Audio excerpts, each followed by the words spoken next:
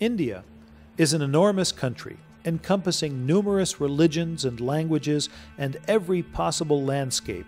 Likewise, Indian cooking is far from monolithic. To begin to understand it, we need to divide India into regions. Suvir Saran, chef owner of New York City's Devi restaurant, helps us out. When you think of India, you have to think north, south, east, west. And in the north, you have New Delhi, which has amazing uh, vegetarian food and the meats of the northwest frontier. As west is um, Kashmir and perhaps Pakistan and Afghanistan. In southern India, you have Kerala, Karnataka, Tamil Nadu, Andhra Pradesh, and they each have cities that are, have glorious foods seafood, vegetables, even pork and uh, beef get cooked in southern India. There's a whole Christian community and a Muslim community that eats the meats Hindus don't eat. In western India, you have Bombay, which has amazing seafood where they do nothing more than just use butter and uh, use lobsters that are eaten with a butter and garlic sauce. You have Bengal where you get fish that's cooked with mustard oil. So these are the parameters that you look at when you think of India. Predominantly used in North India. It's roasting of the spices. And this is called bhuno, B-H-U-N-O.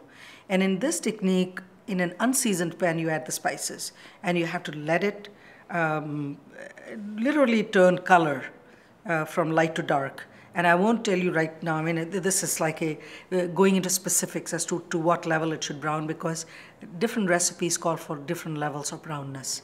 So you can't just say, okay, just put it in a pan and brown it. So you uh, toast it in a pan, unseasoned, and you cook it till it turns darker and darker to the desired consistency and remove it. And it develops this incredible depth, smokiness, and also just the, um, uh, it, it um, the charring gives a deeper flavor so that this kind of roasted spice, when it's ground and added to a dish, it um, uh, I think it makes gives a more assertive flavor to the dish. And um, one great example is um, tandoori chicken, that when you eat it, suddenly you know comes alive because uh, it's basically as a yogurt marinade with few herbs and then you wonder, my God, what is this incredible flavoring? It's the few spices which have been pan roasted to uh, bring more depth to it, and of course the smoky aroma. And then uh, it's ground and added as a spice rub. In northern India, we have the garam masalas, the hot mixes, which have cumin, um, cumin, coriander, cardamom, cloves, cinnamon, nutmeg, mace. So the spices are a little warmer. In southern India, we have curry leaves, mustard seeds, fenugreek seeds, and chili peppers that are fried in oil, bloomed in oil, to bring out their essential flavors. In Indian cooking, the principles lie in handling of spices. Even though it's a single subject, it is a whole world. And uh, one of the most important techniques of Indian cooking uh, with the spices is tarka, T A R K A, in which the spice, uh, let's take mustard seeds for example, they add it to hot oil, and I'm really talking about boiling hot, smoking, because the moment the spice is added, it should pop within two seconds. It shouldn't be like slowly simmering and then decide maybe I will pop or not. Shouldn't because mustard seeds must pop to become, you know, sweet. Otherwise, they're bitter by themselves, and it's not a pleasant experience. Tarka is, as I said, it is used in um, uh, finishing a braised dish just to give a final flavor. It is used in uh, yogurt salads of South India. And of course, the most important place is in dal, which is uh, lentil purees. And it just completely brings the um, dal alive. Uh, and of course, you can also use the tarka as a, a salad dressing. And Indians make um, curry dishes, which is, of course, curry doesn't mean in a sauce. This is like a stir-fried dish, in which the tarka or seasoned oil or seasoned butter as it's called, spice perfumed oil in which the cooked vegetables are folded and it becomes like a warm, um, warm vegetable salad. So that's another technique. American chefs looking for inspiration will find it on Indian spice racks. Many Indian seasonings could cross over to the Western kitchen, giving familiar dishes like a simple roast chicken renewed appeal. Abhijit Saha, executive chef at the Park Hotel in Bangalore, tells us about some of his favorite herbs and spices. In the Western culture and in the Western kitchens, what I see is there is more usage of fresh herbs rather than spices. And some of the spices that are used uh, in the West are used mainly for preparing certain crusts on roast meat. So what I feel that in uh, the spices of India, they can be used to prepare the, those crusts as well as they can be used for braising any kind of meat or any kind of sauce that you use in Western cooking could be, you know, flavored by tempering with Indian spices. And curry leaf is such an interesting herb, you know, it's, it's more of a herb rather than a spice. So in case you're using rosemary or thyme or any kind of herb that you're using in your cooking, in Western cooking, you can definitely use, substitute that with curry leaves. And there are some more ingredients which I feel could be of potential use to uh, people here. I think the spices which are, the way we grind our mustard is again different in, in, in, in India. It's very different from the Western technique and you can use the Indian style of doing mustard, mustard based curries. And then you have also things which are uncommon to the West yet, that is asafoetida.